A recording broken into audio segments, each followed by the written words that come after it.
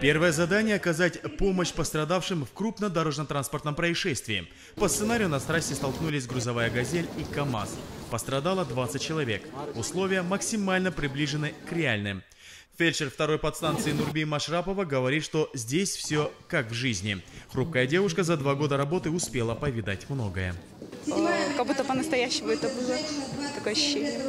Неотложную помощь сперва показали, в красной же ленточке завязывали, это самый необходимый, кто нужен первую помощь, им оказывали, а желтая ленточка, это э, в первый час они могут сами пожить, но в дальнейшем надо все равно оказывать им помощь. А зеленые это были те люди, которые могут ходить и могут сами обслуживать себя.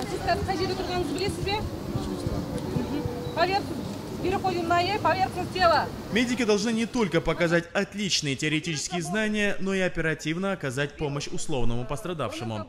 Проведение таких соревнований должно способствовать росту профессионализма медицинских работников, формированию духа корпоративности, подъему имиджа службы скорой медицинской помощи.